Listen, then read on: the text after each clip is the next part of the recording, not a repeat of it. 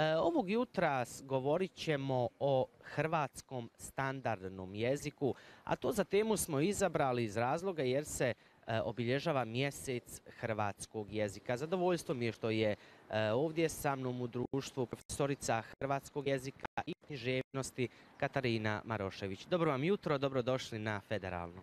Dobro jutro vama i gledateljima Federalne televizije i hvala vam na pozivu. E, evo profesorice Marošević, koliko ljudi danas u svakodnevnom e, govoru koriste hrvatski standardni jezik? Postoje dijelovi javnog prostora u kojem se pazi kako se govori, pritom tako da taj govor bude onakav kakav je u javnom prostoru.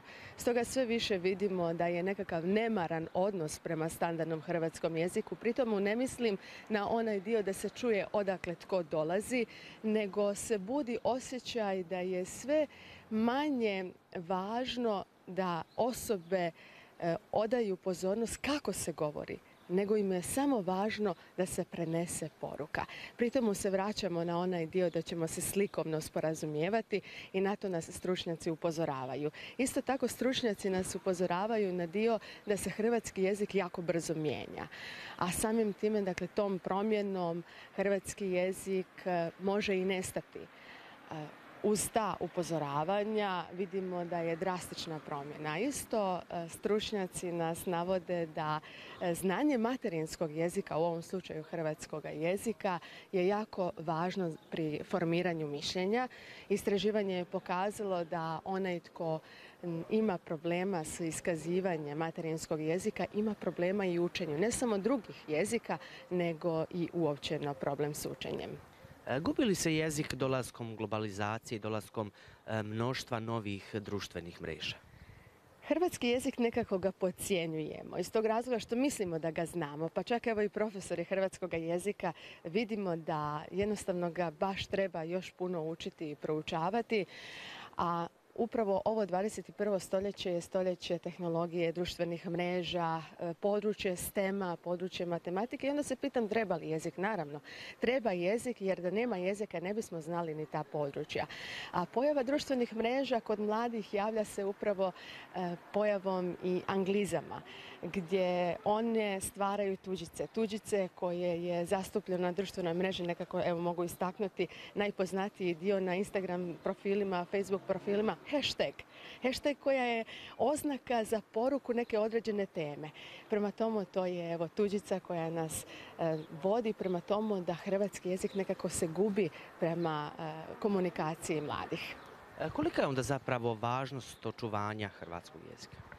Jako je važno očuvanje i pritom trebamo uvijek podsvijestiti se i imati tu potrebu svijesti za očuvanjem hrvatskog jezika, a to nam upravo govore i ovi događaji, posebice kako se nalazimo u manifestaciji mjeseca hrvatskog jezika i mogu tu istaknuti da mjesec hrvatskog jezika počinje 21. veljače, Međunarodnim danom materinskog jezika i traje sve do 17. ožujka kada je objavljena deklaracija o nazivu i položaju hrvatskog književnog jezika iz 1967. godine i tu se nalazi još i tjedan jezika koji traje od 11. do 17. ožujka. U tim danima posebno im odajemo pozornost hrvatskom jeziku. Ne samo tada, nego i u školama, bilo osnovnim, bilo srednjim školama i visoko obrazovnim institucijama.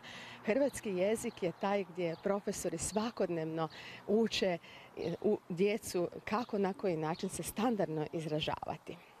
E, evo, mjesec je hrvatskog jezika, kao što smo e, više puta rekli. Po čemu je taj jezik poseban?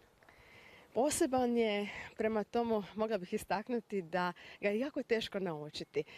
Stranci, kada kažem stranci, to su govornici neslavenskog jezika i istaknuta je važnost e, da su im jako teška padežna e, pitanja, odnosno padežni nastavci. Tu bih još istaknula glagolsko vrijeme, odnosno glagolski vid svršeni i nesvršeni. I strancima to jako teško e, pada za naučiti. Isto tako, hrvatski jezik je poseban po tomu što ima tri narječa, dakle Stokavsko, Kajkavsko i Čakavsko. Evo od prošle godine Kajkavsko i Čakavsko narječe je e, dobilo oznaku za samostalne jezike. E, profesorice, evo kao posljednje pitanje po vašem e, mišljenju, treba li više čuvati ovaj hrvatski standardni jezik ili onaj jezik koji koriste evo naše bake, a te riječi koje su se nekada izgovarale sve manje čujemo?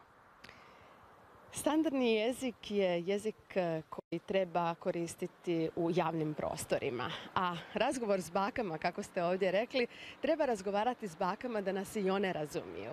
Prema tomu znamo da ono sve što nekako se pomalo gubi, onda još veći značaj odajemo, dakle za taj dio da se ne zaboravi i tu su zaslužni dakle jezikoslovci, lingvisti za zapisivanje autoktonih e, riječi. Naglasak je i razlika, je prema tomu da ovisi se od e, lokaliteta, regija, novoštokavske, staroštokavskog narječja, dijalekta, sve ovisi u kojem se području govori. Prema tomu treba i jedan i drugi dio jezika njegovati, čuvati i ono što bih mogla još samo za kraj reći da čovjek vrijedi onoliko koliko jezika govori. Stoga čuvajmo i govorimo hrvatski. Profesorice Marošević, hvala vam na izdvojenom vremenu za gledatelje Federalne televizije. Hvala vama. E, bila je ovo profesorica Katarina Marošević, profesorica hrvatskog jezika i književnosti. E, vama, drage kolege, ali i svim gledateljima Federalne televizije želim ugodan ostatak ovog vikenda. Hvala ti, e, dragi Matijas. Nadamo se